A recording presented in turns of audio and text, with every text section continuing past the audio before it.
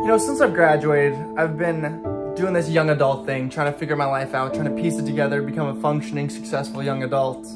And uh, it's rough, you know, because I was just in school not too long ago, and I was a pretty poppin' guy on campus. I was I was known by several people. I had some good friends, you know. I had friends with several ladies, you know. I was good at getting the ladies, making some people, making connections, making things happen, bing bang bop. Since I graduated, I just haven't been the same just haven't been the same person. I feel just different. I feel like something has structurally changed within me and I just feel sick almost in some ways and just not I just don't have the same pizzazz, the same zing that I used to and been trying to, to, to think things out, doing some research, thinking about how can I better my life as a young adult, as a 22 year old trying to make his way and I've really been making no no ground. I'm not really learning anything, not really making any sort of revelations, and that's until recently. And I, I think I, I've maybe actually stumbled onto something that can help me out and, and get me in a better spot because it's been rough.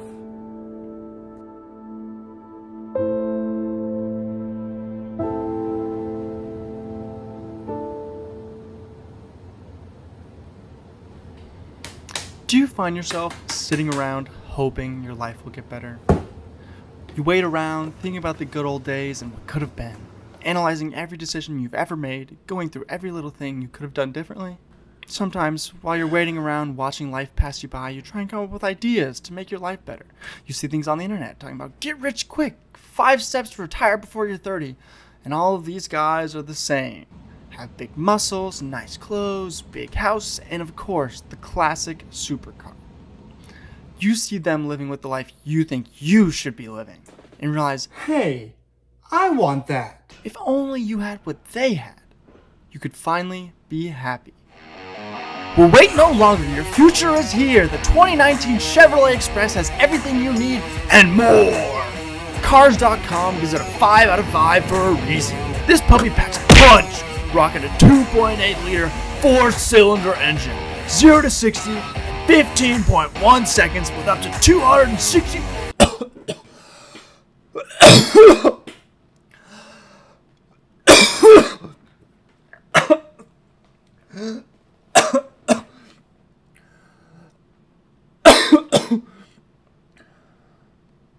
oh my god.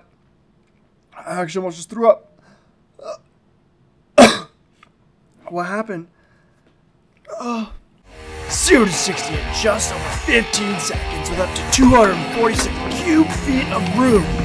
So no worries, you'll be sure to pick up any girl or guy that comes along your way.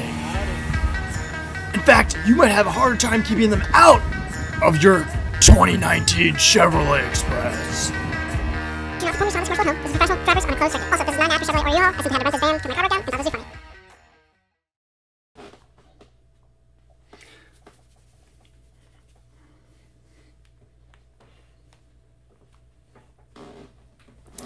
That's right, believe it or not, that person was me in that video. I know, shocking to believe.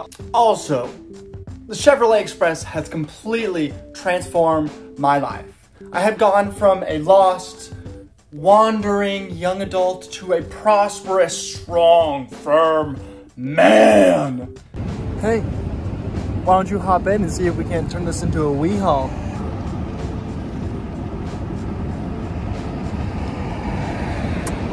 Sorry, no more room. Car's full. Reality, that's not the case at all.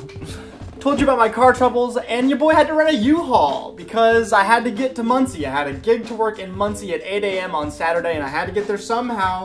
So U-Haul was the way. I was supposed to have a U-Haul pickup truck, but no! The guy who had the truck before me did not return it on time. And the only other option they offered me was a 10-foot box truck. Until they called a lady named Joanne, who they seemed to be friends with, say, go ahead, call Joanne, she'll take the upgrade. Asked her if she wanted a free upgrade, she gave, she took the box truck, and I got that sexy, sexy Express. Ooh.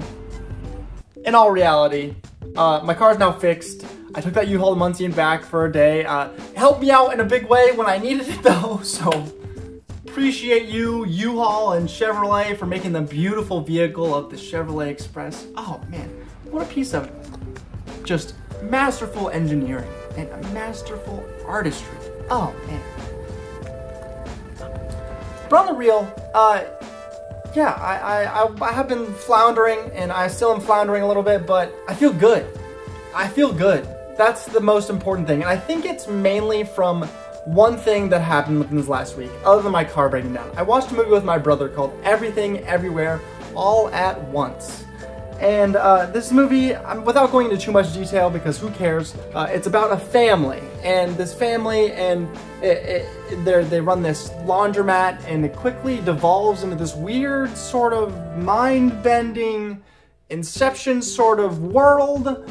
And in this weird world, they get to see all the different outcomes of their life and different ways their world could have played out. And they come to realize that they're in the best position they are in now because all of the other positions have their their con, their pros, their cons. Yes, they're a celebrity, but they don't have the true love and the family aspect.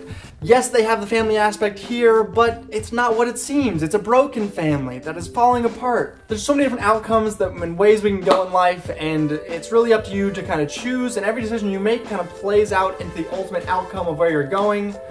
But in reality, you just, just, just be happy to be where you're at because nowhere you're going to be is perfect. No universe you could possibly live in will be perfect or this perfect dream world that you think you envision for yourself or that you think you can have. Nothing will ever quite be the best. It will never quite be what you think. So what you have now and the state you're living in now is the best place to be. Like, uh, I'm losing the, the core of the message. You should just watch the movie for yourself. But the, the final message was just be happy where you're at. Like you be grateful to be where you are. And and it hit me, bro. It hit me right in the face. Oh man. I cried several times during the movie, three or four times towards the end, and at the after the end I was crying, and even several minutes after it was over, I, I didn't cry, I cried in bursts, but even a few minutes after it was over, I was looking at my brother and I was, I, I was just like, Man, I, I love my brother so much. Oh, he, means the world to me. I would do literally anything for him at any point in my whole entire life. I'm blessed to be even here in this position where I could be in a spot to help out my true blood brother. It, it really hit me right in the heart. I, I, just I just soaked up that moment and I'm, I'm, grateful to be where I'm at with the people that I have, the, the brother that I have. I wouldn't even want to be a different version of my brother. I'm glad I have this specific one because I got nothing else. So why, like I, I'm blessed to be here. Uh, I gave him a kiss and a, and a brush on his head uh, after I stopped crying or collected myself and I actually brushed his like so I went to like brush his head and just give him a little smooch on his head but I moved my hand down a little too far and I brushed his eye as he was sleeping. Didn't wake him up but uh, he did roll over and I was like one of those things where you think oh they're gonna wake up but he didn't. Either way, big shout out to the Chevrolet Express. What a beautiful masterpiece. Thank you to U-Haul for giving me the free upgrade and allowing me to have a vehicle to be able to make it to work. And thank you everything everywhere all at once for really kind of grounding me in, in the biggest way. And since I've watched that movie, I've been happy. I've been happier. I've been uh, happy-go-lucky. I've, I've like it, made my car troubles seem even sillier. Like it's all good. It's all good. That is all for this week's episode of the Procrastinated Podcast. I don't even like the title of that. But that is all for this week's episode. I hope you have enjoyed it. I have been your host, Matthew Stein. You have been fantastic as always. Uh, I very much enjoyed making this episode, so if you could leave a like and subscribe and share it. And actually, if you've made this far, share this video, please. I, I really enjoyed making this video. Um, yeah. Peace out.